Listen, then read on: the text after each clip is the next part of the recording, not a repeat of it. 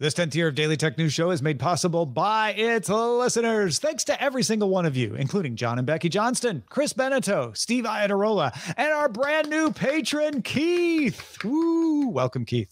On this episode of DTNS, Microsoft wanted Apple to buy Bing, kind of. How to keep your website from being used to train AI, and the countries who stand to gain the most from people using those AI tools. This is the Daily Tech News for Friday, September 29th, 2023. In Los Angeles, I'm Tom Merritt. And from Studio Sushi, I'm Sarah Lane. I'm the show's producer, Roger Chang. And joining us, the producer and co host at Momentous TV and AI Named the Show, Tristan Jutras. Welcome. Happy to be back. It's good to have you. How's the, how's the new show going? Uh, aside from its impact on my sleep schedule, um, well, well, we were Are you we, doing it in the middle of the night? Is Is that... Isn't that always the way? Like it's going well, and I haven't slept. exactly. Yeah. Just episode six just dropped today. Our AI clones coming for your job. Ah, find out on AI Name the Show. Meanwhile, right here, we shall start with the quick hits. The Wall Street Journal's sources say Chinese officials told Apple that it must strictly implement rules to ban unregistered foreign apps, with sources citing recent meetings between officials and Apple staff. China restricting the apps would prevent Chinese iPhone users from downloading some Western social media apps like Instagram, X, Facebook, YouTube, and WhatsApp. You don't often hear of China easing restrictions on the internet, do you? But the Cyberspace Administration of China has proposed loosening cross border data security controls in order to ease the concerns of foreign businesses. These are the rules that govern how companies are allowed to move customer data between countries. So, in this case, between China and data centers outside of China. The proposal would no longer require specific consent to move data that doesn't contain personal or other important info. Now, how important data is defined is going to be important. Right now, it's still a little vague, but it is expected to be defined in the final version. France's competition authority raided NVIDIA's local offices this week due to s- supposedly suspecting that the company is engaging in anti competitive practices.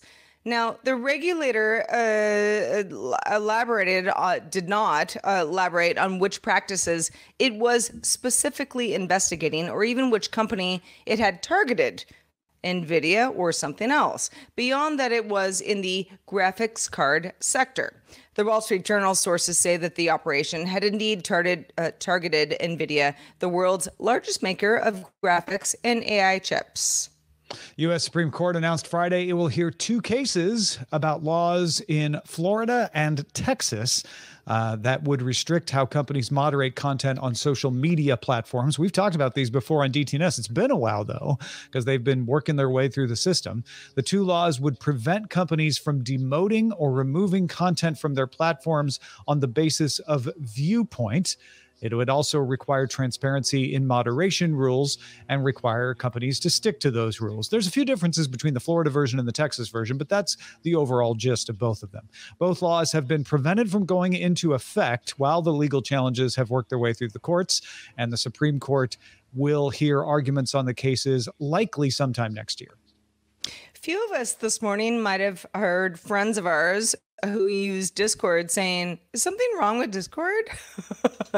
By the time I woke up, it uh, apparently was, uh, it had, had been put to rest, but uh, kind of a big deal. Discord, messaging platform used by gamers, live streamers, general chatters, uh, people who do things uh, like what we do on DTNS, appeared to be down early Friday for many users. In a statement, the company said, as an explanation, we're experiencing unusual traffic spikes that lead to users being temporarily blocked, and we're working on mitigate, mitigating that issue.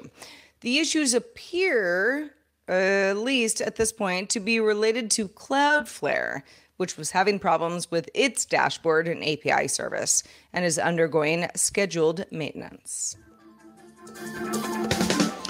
More fun facts keep pouring out of the US FTC's antitrust case against Google. Microsoft Business Development Vice President Jon Tinter testified Thursday that Microsoft CEO Satya Nadella met with Apple CEO Tim Cook in 2016 to discuss investing billions, multi billions of dollars in a deal to replace Google as the search engine on iOS. Bing at the time powered Siri and Spotlight searches. Uh, it did that between 2013 and 2017. But Microsoft at the time wanted to expand that to Safari, where Google was still used, and beyond.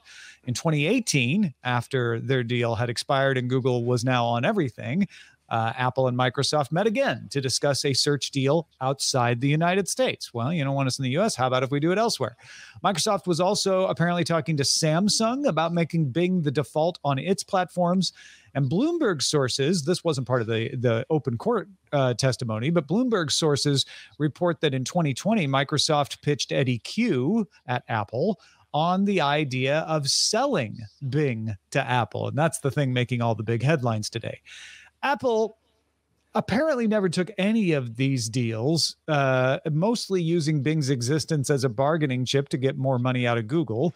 Samsung never seriously entertained the ideas and apparently through back channels politely asked Microsoft to stop pitching them, saying that their their president uh, to pro tem was was too polite to tell them to stop. Uh, and Samsung did that because they didn't want to threaten their much larger relationship with Google, which involved all of Android, not just search. So the big headline here is Microsoft pitching the idea of selling Bing. That clearly never was serious. Uh, I don't know. Tristan, should any of this matter to any of us as consumers? Well, it's interesting. In some of the classes I taught in a past life about things like social media and search engine optimization, I would often ask people, is like, why do you think when you open up your iPhone, for example, and you go to search that it goes to Google? And how, how did that arrangement happen? Or when you, in that period that you mentioned, when you're asking Siri uh, a question and it goes to show you web search results, sometimes uh, we, we asked to uh, search, it would give you Bing results. And a lot of regular folks had never really thought about that.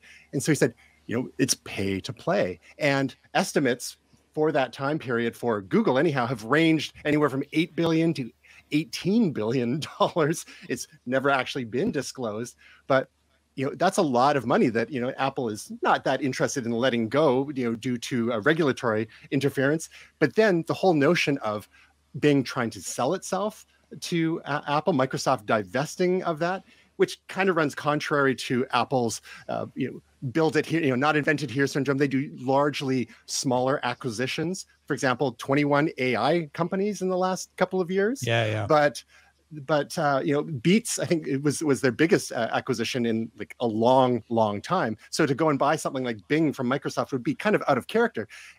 Furthermore, people have noticed over the last couple of years an Apple bot actually crawling people's websites as well leading to speculation that maybe Apple was cr- creating and designing their own search engine in house, which would be a pretty heavy lift to try to make something competitive with Google, which has become so entrenched over the last couple of decades. Perhaps this Apple bot was using to train their large language model, mm-hmm. which again is rumored to make maybe someday make Siri smart finally. Well, you know, I were, you know, hearkening back to 2023, I remember, you know, Siri was the first, uh, you know, AI powered uh, assistant um, that I was using. And I remember being in the car and, you know, trying to just like more or less, you know, uh, make her say something crazy, you know, like, oh, let's figure out how to make the, you know, the, the, the bot not say the thing that you want to say. And that's how we know that humans are still, you know, uh, mm-hmm. in power. But it was a Bing thing.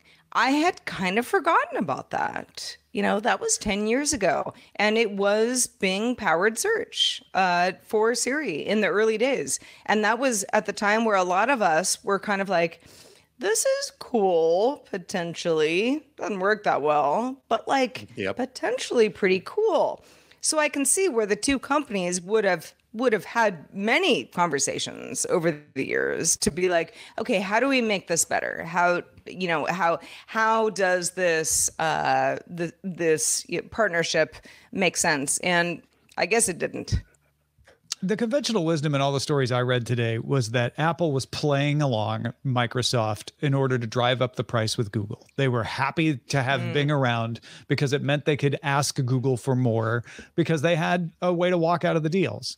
Uh, my theory on Microsoft having a low level exec or lower level exec, right? We're not talking Satya Nadella at this point. We're somebody else coming in the room and saying, Hey, would you want to buy Bing? I feel like they didn't expect that Apple would want to buy Bing. They didn't really want to sell Bing, but they figured that might be the only way to get their attention uh, and maybe get into a room with Tim Cook again. Because it feels like at that point, Apple had just said, you know what? Sorry, we, we just, we just don't want to buy your thing. Similar to Samsung having to have uh, employees through a back channel say, you know, our boss is really tired of you asking about Bing. It's just not going to happen. Can you stop? So when they're discussing pay for uh, pay to play uh, with Eddie Cue, and then they go, "Hey, maybe you just want to buy us," and Eddie's like, "I got to talk to my manager." Yeah, right. Exactly. That's what they were hoping, and that that that Tim Tim he would then pull Tim Cook out of his office. Maybe I don't know. That's just that's just my conspiracy theory. I gotta admit, I've been trying to use DuckDuckGo for the last mm. few years, and it's powered by Bing with some extra zhuzh on top, and I still find myself going to to Google, uh, you know, quite quite often because it's Bing's. Uh, it's different, but it's still not quite there for certain things. And then, of course, mm-hmm. a lot mm-hmm. of us are using the you know Bing chat. I think that was the, the, the genius move with all of this because one of the you know theories that people have as well is that maybe Microsoft didn't want to pay the kind of money that Google was paying for the exclusive uh, default for the Safari browser on iOS and and and even hang on to the Siri default either because they could use that money for other things maybe mm-hmm. redirecting it to OpenAI, for example. They save their pennies. So they yeah. get, they're $11 billion into OpenAI so far. So maybe that's that was the smarter play because so much more interest in Bing, you know, since early this year um, after the partnership, and they've been rolling the GPT uh, functionality into Bing Chat. I know I've been using it a lot more since then. Yeah, well, no, that's a, that's a smart thought.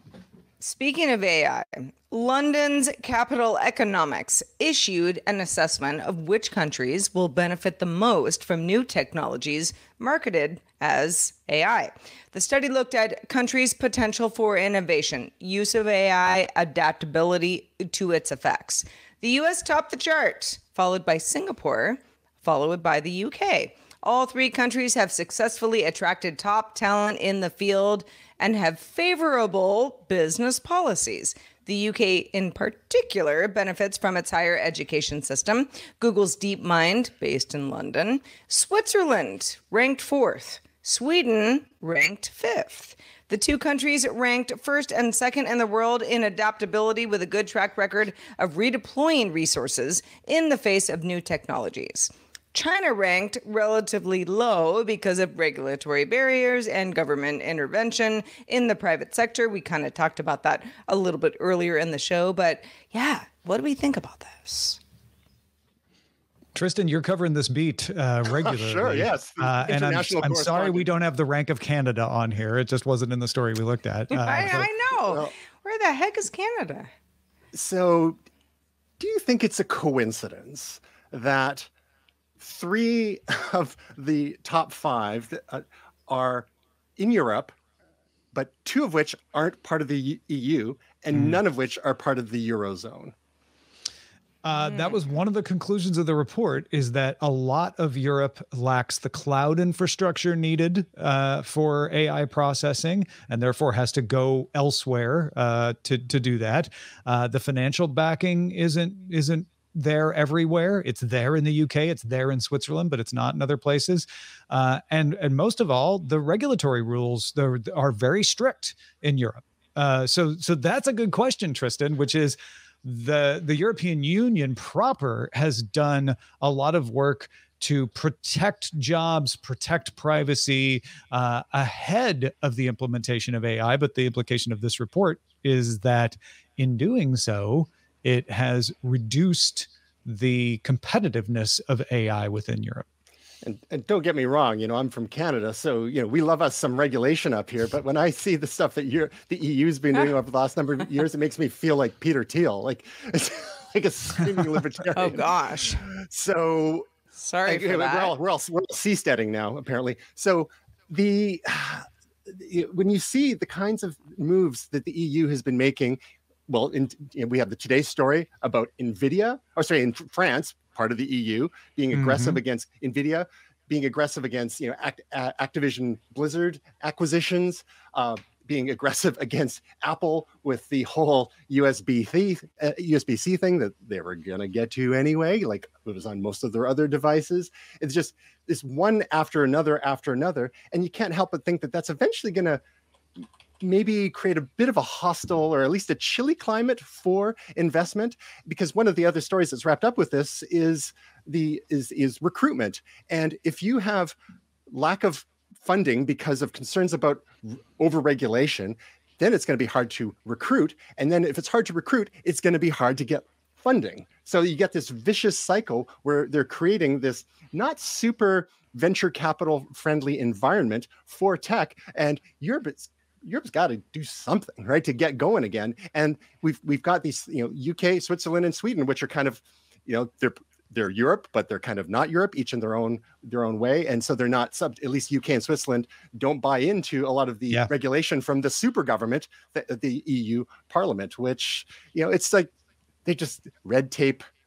Amok. I mean, I know Switzerland doesn't, but Sweden does not as well. Sweden is part of the EU, but they're not part of the eurozone, so they don't use Got it. the. Uh, they're not currently using the euro yet, and so there's a number of things that would be associated with that. So they probably have a little more wiggle room Understood. than those that are like fully bought in. And of course, you know, yeah. the, the Swiss still on the the Swiss franc, UK is on the pound, and they're not part of the EU anyway, either of them. Yeah, the, and yeah. this is one situation where the UK leaving the European Union has has freed them up a little bit and, and provided uh, a positive in that uh, they it may be harder for them to collaborate across the channel uh, with European institutions. That's one of the downsides, but it's got yeah. some flexibility uh, that seems to be, at least in the estimation of London's capital economics, which granted is in the UK. Uh, mm-hmm. in their estimation, it, it, gives the UK a, a potential advantage here. But at the same time, the things that the EU are doing, like privacy is a good thing, right? You know, yeah. Prom- promoting competition is a good thing. You know, cracking down on anti-competitive practices, and the U.S. is generally a bit more liberal when it comes to these uh, these issues. You know, the FTC's latest adventures of the last couple of years, not notwithstanding, but um, you know, it's all these things have. There's a reason why the U.S. attracts so much money and so much talent and generates so much innovation, and we're not seeing quite as much of that out of places like the EU. And not to pick on on Europe, that that's one of the reasons they dinged China uh, on on on this as well was was the heavy regulatory practices yeah. and the uncertainty of well, if I start a business there, am I going to be able to keep that business there? I have to partner for things like data storage within uh, the country, which is why that that loosening of data transfers earlier, I think, uh, was was fairly significant. It's China's the first indication recently that China's recognizing that this is really a break on foreign companies coming in, and that's hurting their economy. Yeah, and the EU is looking at China and thinking, life goals.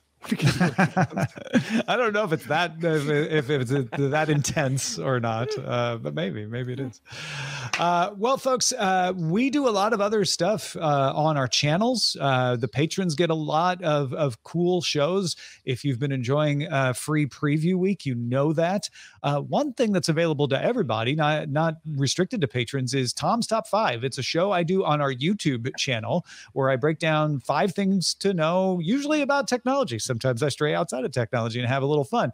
This week's episode is the top five greatest video game characters of all time.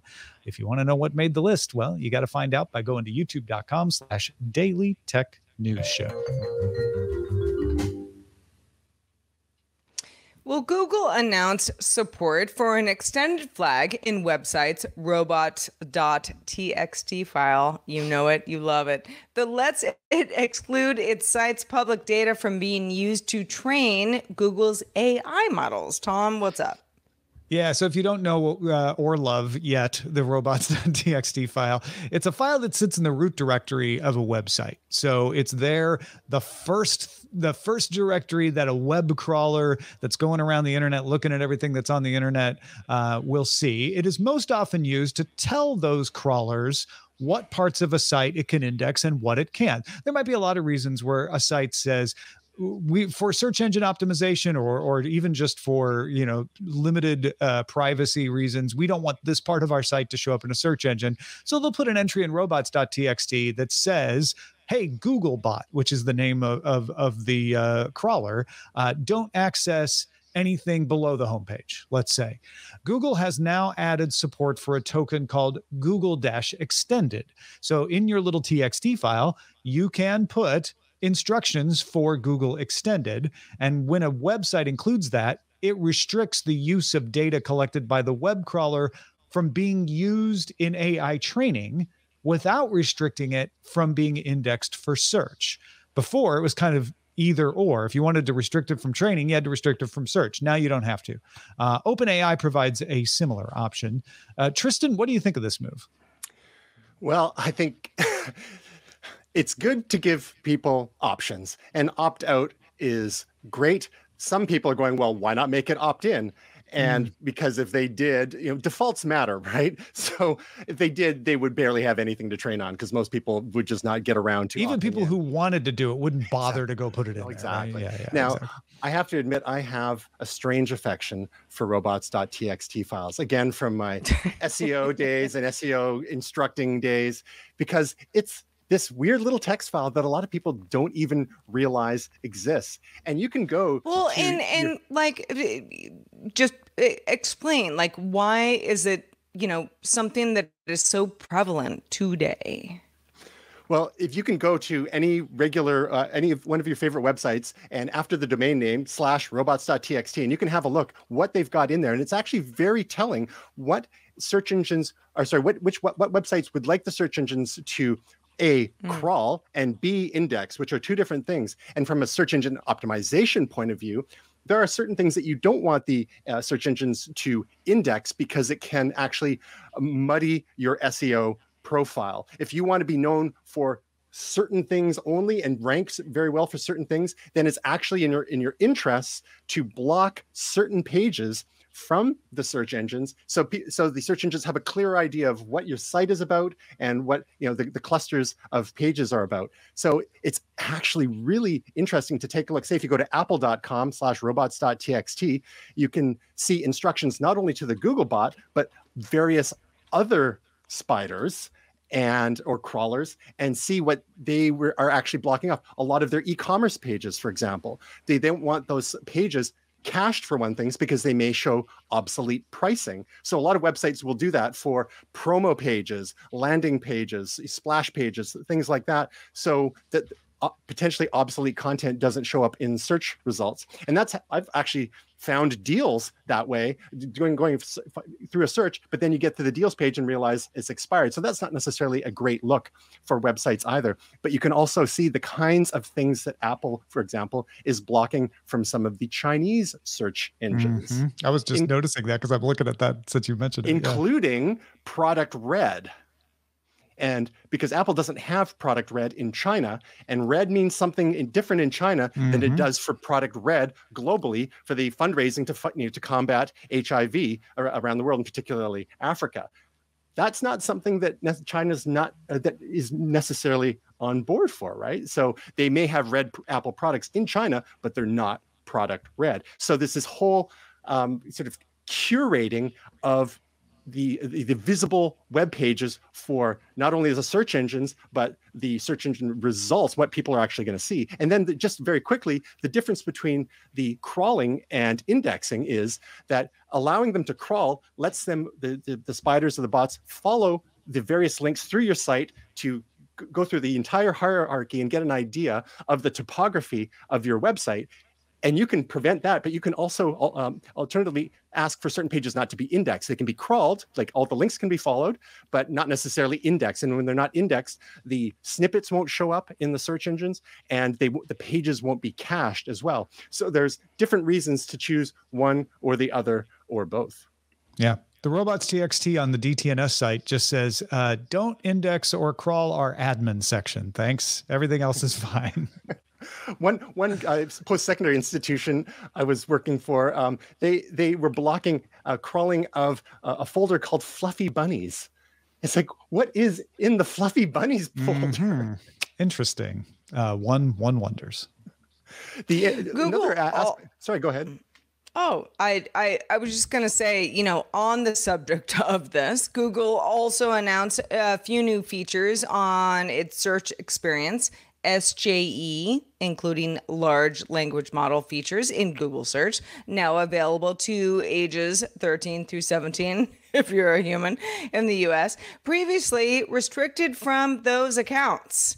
They'll still add a way to add it through Search Labs, and the company says it's also adding stronger protections for outputs related to illegal or age gated substances or bullying.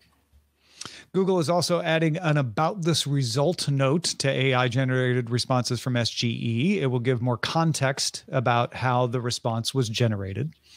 And Google also updating its model to detect false or offensive premise queries and respond with more accurate responses as a result. It's also working on using LLMs to analyze its own first draft responses and rewrite them for higher quality and safety. Starting to seem like Google and other AI toolmakers are kind of worried about safety because that's what happens when you're big enough. Is that good, Tristan? What I want to know is when they're going to uh, open it up to 52-year-old Canadians because we still can't access Because you can't get it in Canada yet. No, Yeah. no Google Bard, none of this stuff. So that's why we're Team like, Bing here in Let me Canada. add it. Yeah. exactly. So I guess the question is: is how effective will this be, or will this just you know be a challenge for enterprising teenagers to get into these uh, you know tools, regardless of the age? I mean, how many how many kids do you know that got onto Instagram or Facebook before they were 13? It's really not that complicated.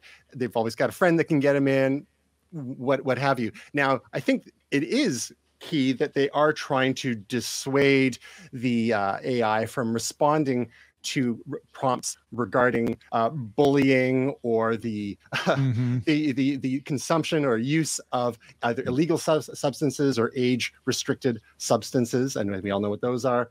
And you know, but those those who want that information are going to find it anyway. I mean, Google search still exists. Right. It's just a, it, it seems like people are worried more about the safety of the Bard prompts than they are about the rest of search. Uh, and, and that's what's getting it- all the heat right now. and it's going to limit the effectiveness of Bard, uh, which again, that that's a that's the trade off, and and many of you may be fine with that that trade off, but it does seem like Google is spending a lot more time telling you what it's doing to stop the chatbot from saying anything possibly offensive uh, Mhm. than it is telling you, oh, we've made it better. And even if it won't tell you how to make a Molotov cocktail, you can still find that on Google. Yeah. Yeah. Well, um, also things that you can find on Google, I suppose. Uh, officially, Netflix has officially ended its DVD service. Pour out a little liquor, everybody. Netflix launched in 1998. And by the way, uh, with the company's uh, announcement of winding down DVD services, reminded folks Beetlejuice, the movie, the first title shipped. The company set a record in 2011 with 4.9 million DVDs shipped in a single day. In total, the company says it shipped 5 billion DVDs. Uh, this is a momentous day. The, uh, the I last day. know, I know. You know, I, I- mean, besides Roger Chang, I don't know who else cares I all that got much. my but- last three discs the day before yesterday. And you get to and you keep get to them, keep right? those, right? I get to keep them. I mean, they they will take, they will accept returns uh, until the end of if you don't want to keep them, If, you if if these if these small little keepsakes are taking too much space uh, in your home, but uh, you know, I've always wanted a copy. What'd you of get? What'd you get? You got to tell us the titles. Everybody I wants to know what I you I know. got. got come on, shortcuts. Roger. Have you? sh- I shortcuts. You know, Robert Shortcuts. Altman Russ movie. Altman. Yes, of- yes. And then I also I'm- got uh, volume one and two of the New Adventures of Batman: The Complete Series, which is Oh. the Hmm. 1960s animated Batman featuring Ooh, uh, good get. Yeah. Burt Ward. Uh, still doing Nice. uh, Bat- uh, Robin, but someone else doing Batman. Nailed it. Are you going to file those with your late blockbuster returns? I will file it under the other things I have in my room that I will probably forget in a month's time. And if a Canadian says Qwikster three times quickly, will we finally get the DVD by mail service here? Because we never had Netflix by mail here. We had a Mm. copycat called zip.ca, but we just got Netflix purely streaming. I mean, which was great, although it was like a quarter or 20% of the of the catalog. But back I don't know if they'll mail to Vancouver, but there's a, a video store in Seattle that's doing by mail now because Netflix is getting out of the business. So it might be worth looking into. Fill that gap, just like Red Red is Redbox still a thing? Yeah, there's one uh, my local grocery Oh, store. I there saw some guy standing in front of it try, trying to pick a movie the other day. Amazing. Um, well, Tristan Jutras, thank you so much for uh, being with us. Whether you have DVDs or not, uh, we really, really appreciate having you with us. Let folks know where they can keep up with your work. You can find our regular live streams at 7 p.m. Pacific time at momentous.tv.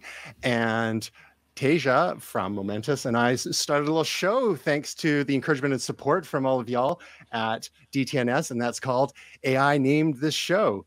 Which is, you know, we we aimed for the dumbest possible name, but at least it's at least it's memorable and it's got great SEO. So you can find us at AINameThisShow.com. And I'm at Tristan Jutras, and that's J U T R A S on pretty much all the socials. Excellent. Uh, well, folks, it's the last day of free preview week. We do have a little something coming into your feeds tomorrow on Saturday.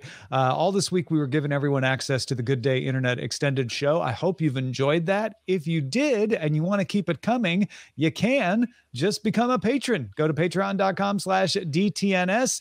And all of y'all stick around for the extended show, Good Day Internet. It's Friday. So we're playing another round of Who Am I? Roger has researched great tech people in history, and we're going to try to guess who he picked one clue at a time. Come play along with us. do so. Uh, just a reminder, we do the show live Monday through Friday, 4 p.m. Eastern, 2000 UTC. You can find out more at dailytechnewsshow.com slash live.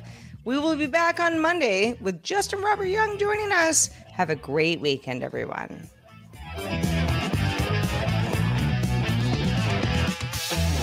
This week's episodes of Daily Tech News Show were created by the following people. Host, producer, and writer Tom Merritt, host, producer, and writer Sarah Lane, executive producer and booker Roger Chang, producer, writer, and co host Rob Dunwood, video producer and Twitch producer Joe Kuntz, technical producer Anthony Lemos, Spanish language host, writer, and producer Dan Campos, science correspondent Dr. Nikki Ackermans, social media producer and moderator Zoe Detterding, our mods Beatmaster, W. Scottus One, BioCow, Captain Kipper, Steve Guadarrama, Paul Reese, Matthew J. Stevens, aka Gadget Virtuoso, and JD Galloway. Mod and video hosting by Dan Christensen. Music and art provided by Martin Bell, Dan Luders, Mustafa A, Acast, and Len Peralta. Acast ad support from Tatiana Matias. Patreon support from Tom McNeil. Contributors for this week's shows include Chris Ashley, Scott Johnson, and Chris Christensen. Our guest this week was Tristan Jutras. And thanks to all the patrons who make the show possible.